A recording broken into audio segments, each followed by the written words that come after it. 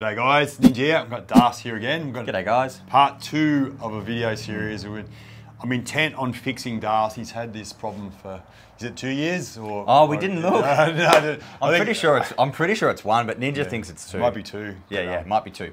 Yeah, so we're, we're trying to fix his ankle, leg, lower leg, all the kind of restrictions because it, it pops up every time Mm. he kind of does a bit more volume or something a bit different or plays a game of footy, he's pulling up sore. Mm. Yep. So I want to kind of get to the bottom of it, clear it all out, let Mm. it heal up, let him strengthen it all up again, and so it's not it's a history rather than um, a current issue that keeps Yeah. on propping up. So yeah, do you want to tell us about how you feel since we Yeah. did that first treatment? So the first treatment was really good. I had a like a bubble in my Achilles that I felt like was a limitation. It almost felt like I was ready to strain it or injure my calf. Since then, Ninja got into like the the calcaneus, like the bone and, and where the tendons attach onto that bone, and cleaned that out and cleared it out. And that's I, I don't have any restrictions in in that part anymore. So that's all clean. But I actually feel like some limitations maybe through our front, like in the ligaments here. Yep. Last night I was getting a little bit of medial pain um, through there. Yep. Um, but the calves, the calves been pretty good. It's it's Yeah. probably more like ankle yeah, and- ankle and and, retinaculum. yeah, retinaculum. Down there, yep. uh, we'll see how we go by treating that because yeah, usually the, the first block and then you find another one as you go on, don't you? Yeah, yeah, it's just yes, we'll do a bit. Of, we we try to vacuum our floor Mm. for people out there. I'm going to start on his money spot. It's kind of like a like a a spot that I'm familiar with. That's sort of like a a pretty easy um, spot to start and kind of produce a little bit of um, beneficial pain right off Mm. the bat. So I'm just going to try and feel for the slot, just there.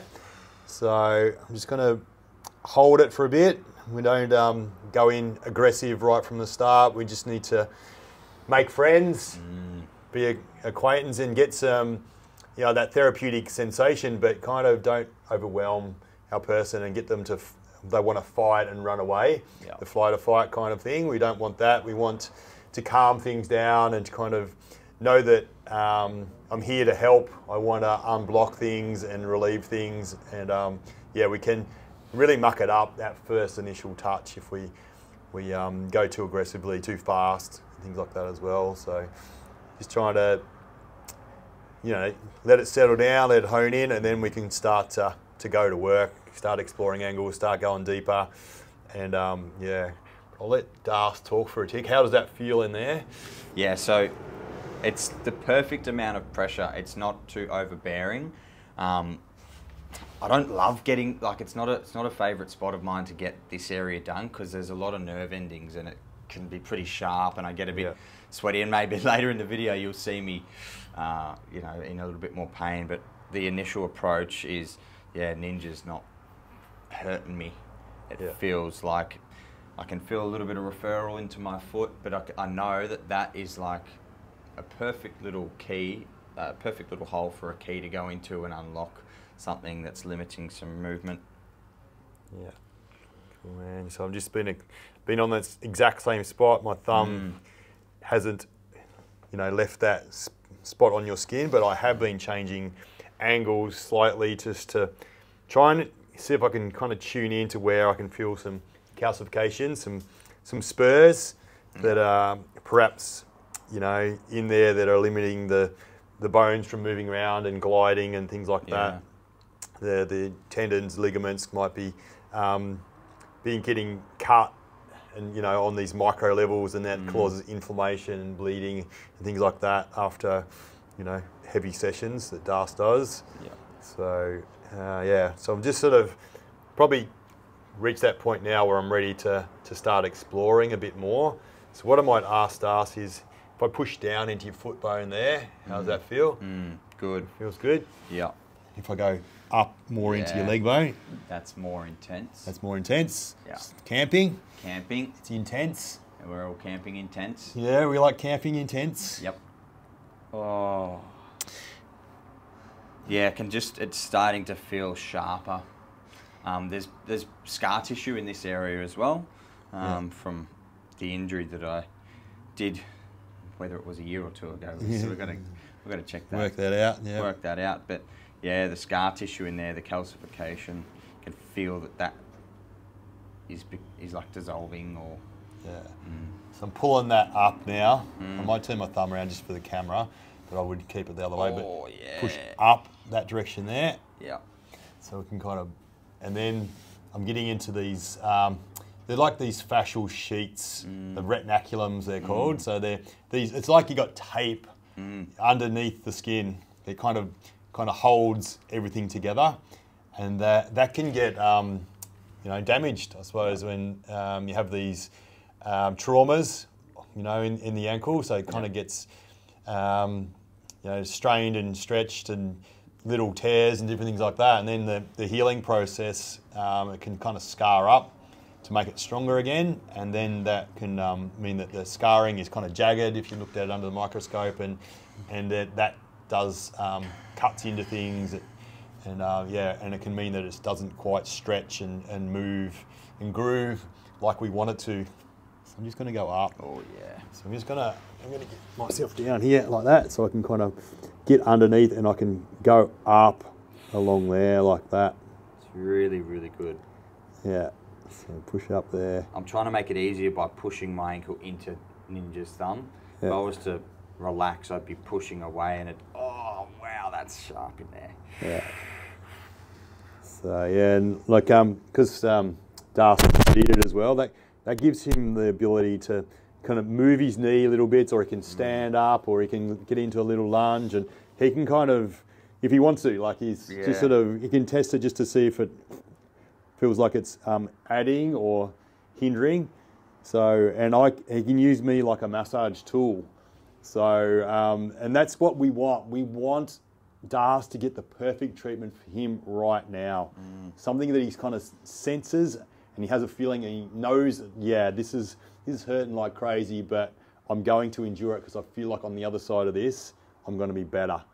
You know, and you just know that's like a language that you know that you're kind of tapping into a healing you know, process, a mechanism Yep. that's going to help clear the stuff that was stopping the, the full healing from happening, and then um, he's going to, going to be able to go forward. Yeah. So, just getting up more into that leg bone now. Is it still going? The, Yeah, the it's just nice. Like yeah, my uh, last experience of getting this done, which might have been at least six months ago, was was really really painful. And today's at a level that I am actually enjoying. It's a good therapeutic, productive pain, yeah, and yeah, it's you hit the nail on the head. It's the perfect treatment for me, for how I, what state I'm in, emotionally or mentally, and ready for, and yeah, um, yeah, nin, you, you become um, become a bit of a, a guru at this stuff over time. You experience that whatever Ninja's feeling as the practitioner, he's also the facilitator. He can't come in and go, "No, I know what's right for you," because it doesn't. It's just too forceful. You know, it's like two negative charges colliding, and they just Yeah. repel from one another. Yeah. You need to establish Yeah. trust and yeah. and um, yeah, that person might be really stressed and overworked and tired. yeah. So You got to tune in, and you can't. Like the word probably is injected. You can't just sort of inject your will yeah, onto somebody else. It's sort of like you, you got to tune in and, and kind of get to understand what what they want. Yep. So I'm going to go up up through the the guts right now. that So- already feels fifty to sixty percent better. Yeah. Like just going Yeah. to the painful point. Yeah. So what I'm I'm doing here, I'm getting a bit of a flatter um, tool with my thumb. So, so I want to kind of um, my plan is with this one is connect in and really kind of engage with that fascia, but then stretch it up and over. So you just got a it's a bit of a painful spot there. So we're just going to pause for a bit, wait, let that fascia melt. You can't rush the melting of the fascia it's got its own little pace that it likes to melt at, you know, and depending on how um, dense it is, how how long it's been there, kind of what it represents. Is it represent kind of emotional trauma, you know, or a, a physical trauma, or you know, all those kind of things are come into play. uh, how ready Darcy is, like you were saying before. Sometimes th- wounds are fresh. Yeah. You, and and kind of like if um, you know even emotional wounds can still be fresh if they keep on thinking about them. You know what I mean? They, so, but if you kind of um, you heal them, then they kind of they go, or you kind of block them out, then um, they're just buried. Then you've got to get down to the where it's fresh again, and so um, yeah, work through the layers of it. Oh, Got to feel it to heal it type of thing. How's that? Yeah, yeah. good. just oh, there it is. Yeah. So yeah, we're working through this for for Das. It's awesome. Yeah. Can reinforce my thumb a little. Mm. What I've been feeling with this ankle injury is I don't have the same amount of force in this leg as I do in my right one. Just feels like there's there's a bit of uncertainty with my confidence around holding my full weight on my left leg compared to my right. And I've been doing a lot of single leg stuff, pistol squats, RDLs, Bulgarian split squats, double leg stuff where I'm doing my, my power squats and my deadlifts and rehabbing it a lot. But rehab gets you so far. You need you need the treatment, um, the, the running repairs, the maintenance, uh, if you want to continue to, to be on your healing journey. Oh, far out. Yeah, there's lots in there. Oh, oh. Opening that up. Yeah, that's another thing that you're doing when you're you're doing these sort of things. You're actually pushing the bones back because Yeah. when um, is, if you imagine this, like there's a bone through here. When is coming forward, the bottom part of that bone actually goes backwards. Mm. So it's sort of like you're actually pushing that bone back. But You kind of that space in there for the that get this tissue gets compressed in here. If that's hard tissue, that can't compress. Yep. So that's another factor where, why you lack, you know, mobility through your your lunge. You know? Yep. So it's not always this is too tight, it's not stretching. Can be this gunk that's stuck in here as well, and the and the ability for that bone to move backwards. You know. So yeah, we need to this all this tissue in here to soften and compress, and then we're we're good. Like Yeah, that. feels really therapeutic. Oh.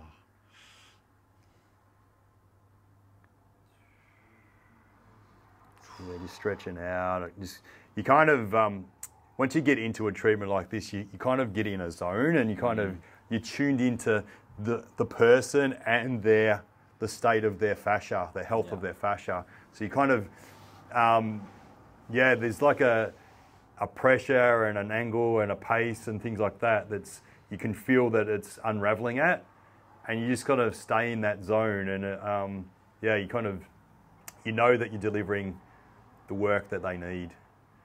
You know, so can just feel as, as I've been working on this, like I, I've felt different things present.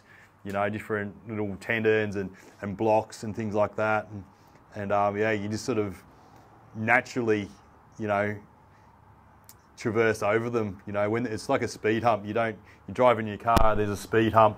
You don't just go, you know, 100 kilometres an hour over it, or there's a corner, or the road's slippery, or there's a hill, or there's a, you know, all the gravel. You know, all these different things. If you're driving, you kind of you drive to the conditions. You know, heavy traffic and things like that. It's the same like when you're when you're working on um, working with people. You got to um, tune in to what's going on and uh, do the, the thing that's right for the conditions.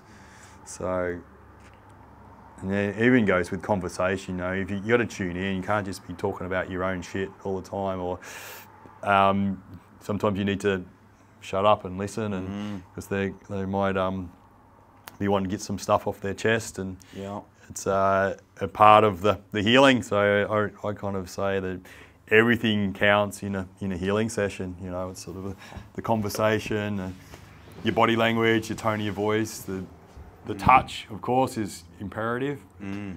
It's all good. How's it feeling, man? Yeah, it's feeling really clean. Yeah. Like previously, I was just doing some of that stuff. Yeah, it feels just nice. Yeah. If it, Yeah, what are What- you what's your? I was thinking. I would suggest we do some down here. Yeah, yep. How did that? Yeah. You like some of that?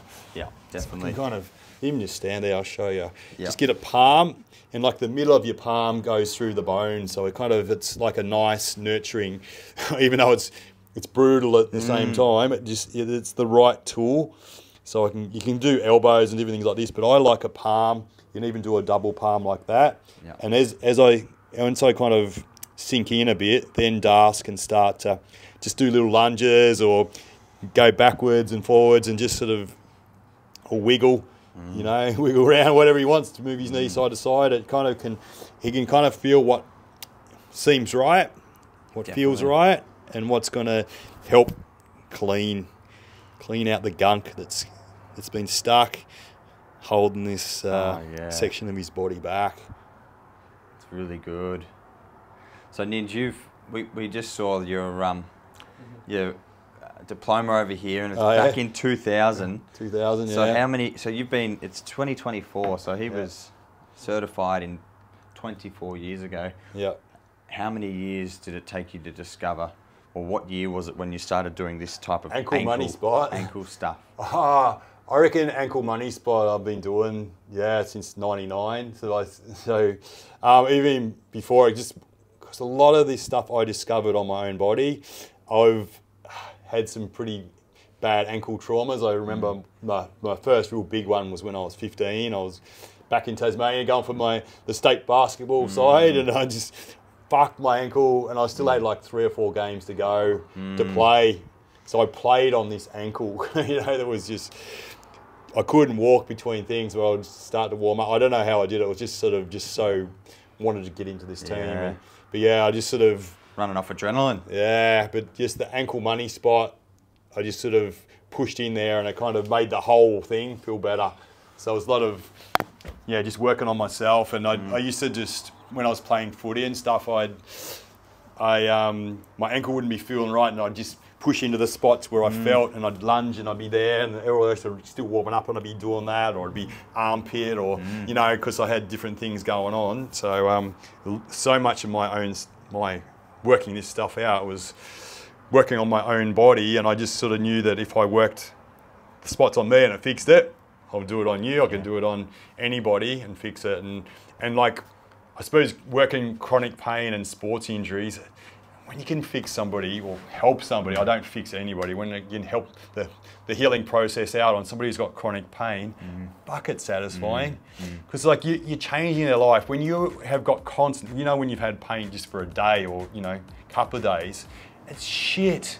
Mm. Imagine having pain day in, day out for 20 years or something. Mm.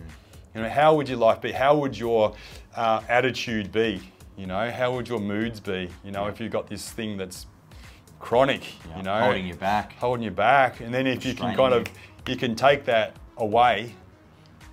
It's it's life changing, you know. It's, Yeah. And it's like it's satisfying for us. We just we just want to help people. We just want to get people out of pain, Mm. and and we just we've got a formula. You know, there's no drugs, there's no tricks. It's Yeah. it's just um, you know it's just two humans working together, filling in for what's right. You know, And it's fulfilling. Yeah. Filling in Yeah. for fulfillment. yeah, it know? is, man. So You're on your journey. yeah, and I reckon they would have been doing this back in the caves, you know, and and, and it kind of like we've rediscovered it. It's been it's lost. Like I'm not the first person who's ever done body mm. work, but you know, and I want people all around the world to be able to have access to this. So that's why we're trying to teach other practitioners and or getting people that are attracted to this kind of thing, that are carpenters or they're you know doing whatever. They're Yeah. a cleaner or something like that. It doesn't matter if you if you kind of resonate with this kind of work, you can do it. Yeah. We can show you how to do it. You know. Yeah, if you're not passionate about your job and Mm. you just got your nine to five, whatever it is, Yeah. there's there's jobs out there that you can become passionate about, and this Yeah. is something that Mm. it doesn't even feel like it's a job. Yeah. You know, we wake up and we help people, and Mm. people thank us. Mm. I thank them as well. You know, like it's it's it's a job that we're so grateful for that we're Yeah. lucky enough that we're skilled enough to help people um, on their journey, and yeah, it's the most fulfilling, rewarding thing that you can do is get people out of chronic pain. Yeah. Uh, get people out of acute pain as well, but Yeah. chronic especially. Yeah, it's cool. So yeah, Mm. we feel like we don't work. We we can be authentic. Like even a bloke like me, you know, can I can be authentic and I'm accepted, you know. So be, being barefoot, you know, it, it was a risk, you know, like 12, 13 years ago for me to walk around the streets of Richmond, which is an inner city suburb of Melbourne. You know, I was doing that, I've been doing that, I've been, and that, I knew that was right. You know, it was right for me, and like I've stuck to my guns with the, the way that I treat. You know, you, you get hecklers and different things like that, but I kind of knew in my heart that this was the right path. You know, you you're better off to have the whole world against you than your own soul type of Yeah. thing. So, That's yeah. what authenticity is, right? Yeah. And we're just encouraging people to be authentic, Mm. find your tribe. If we feel like we're part of your tribe or your Yeah. tribe, uh, you want to join our tribe, you're welcome in. You know, Yeah. You- yeah, we'll it's a pretty cool ya. tribe. It's a great um, great team that we have here, and we're building on it. And we want like-minded people like you to to come and experience it, feel it, get treatment, practice it on yourself. That achy point in your neck, you know, Ninja discovering the way he fixed his own ankle when he was. You know, in the early 90s or late 90s, you know, that's just like you pushing into that sore spot in between your shoulder blades that's bothering you while you're watching this 25 minute video or wha- whatever's coming up for you. Yeah. Um, you can learn to, to fix yourself and then fix others. And that's, yeah, it's God's, it's God's work. Yeah, it it's is. cool. Cleaning, Cleaning, plumbers. plumbers. Yeah. All right. Thanks for watching, guys. Like, Foot- share, subscribe, all that kind of stuff. Yep. Patreon for extra extra content and Yep. if you want to join and learn our stuff there's a link below but you're gonna have to be really quick because the, the this intake in February which we're in now is about to run up but there'll be another one later on in the year. So don't stress if you miss this one. And, and yeah sometimes it takes some time for people to to think about it and to consider and for it to process. Maybe I'm not happy doing what I want to do and and you know you watch another video and another video and you realize these guys are the bee's knees On it. hopefully Yeah. all right cool. Watch out for part three. We're going to follow this up because I Mm. said I was going to do three. I'm going to fix him in three. fix him in three. Yeah, so let's um, follow him up in a week or two and um, see what the progress is and see Yeah. where I need to go next. Yeah, already feeling awesome. So, doing well. Thank you. Done.